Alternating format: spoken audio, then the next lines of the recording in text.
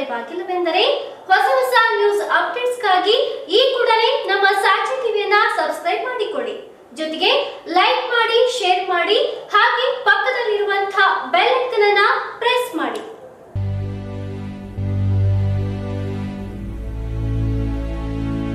ರಾಜ್ಯದಲ್ಲಿ ರೈತರಿಗೆ ಯಾವುದೇ ರಸಗೊಬ್ಬರ ಕೊರತೆ ಆಗಲಿ ಯೂರಿಯಾ ಗೊಬ್ಬರದ ಕೊರತೆ ಆಗಲಿ ಆಗದಂತೆ ಕ್ರಮ ಕೈಗೊಂಡಿದ್ದೇವೆ ಎಂದು ಬಿಸಿ ಪಾಟೀಲ್ ಮಾಹಿತಿ ನೀಡಿದರು.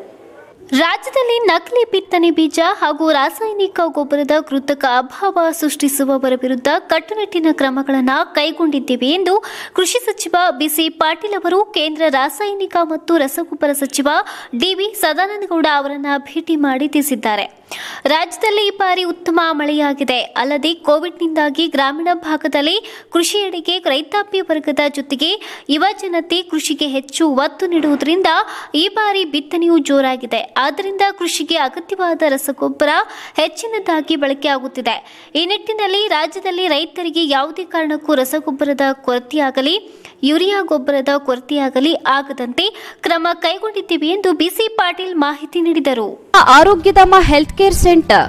ನಮ್ಮಲ್ಲಿ ಬುದ್ಧಿಮಾಂದ್ಯತೆ ಆಲ್ಸೈಮರ್ಸ್ ಪಾರ್ಕಿನ್ಸನ್ಸ್, ಮಾನಸಿಕ ಮತ್ತು ದೈಹಿಕ ಪುನರ್ವಸತಿ ಪಾರ್ಶ್ವವಾಯು ಮುಂತಾದ ಸಮಸ್ಯೆಗಳಿಗೆ ವಾರದ ಎಲ್ಲಾ ದಿನಗಳಲ್ಲಿ ಚಿಕಿತ್ಸೆ ನೀಡಲಾಗುತ್ತದೆ. ಸುಂದರವಾದ ಪರಿಸರದಲ್ಲಿರುವ ನಮ್ಮ ಆರೋಗ್ಯ ಧಾಮವು ಸ್ವಚ್ಛ ಮತ್ತು ಉತ್ತಮವಾದ ಕೊಠಡಿಗಳನ್ನ ಹೊಂದಿದ್ದು ಶುಚಿಯಾದ ಊಟ, ವಸತಿಯ ವ್ಯವಸ್ಥೆ ಇದೆ. ನಿಮ್ಮೆಲ್ಲ ಸಮಸ್ಯೆಗಳಿಗೆ ನಮ್ಮಲ್ಲಿದೆ ಉತ್ತಮ ಪರಿಹಾರ. Kalpavriksha Arogyadhama health care centre. Kengeri, Mysuru road ಮತ್ತು ring road, Banaswadi. Mobile number nine four eight three three four two six nine five.